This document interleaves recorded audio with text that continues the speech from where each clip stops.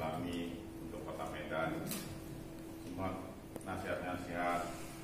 tausiah ini menjadi bekal bagi kami untuk menjalani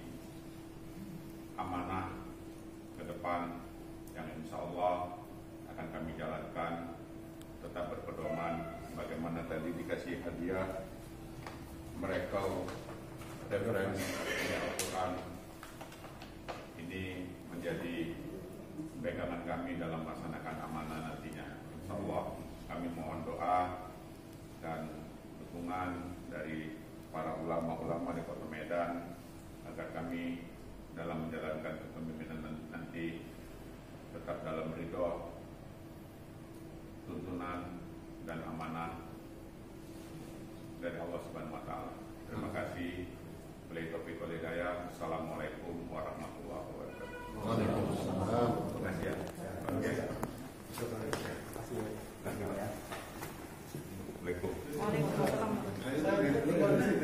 Ya, Ustaz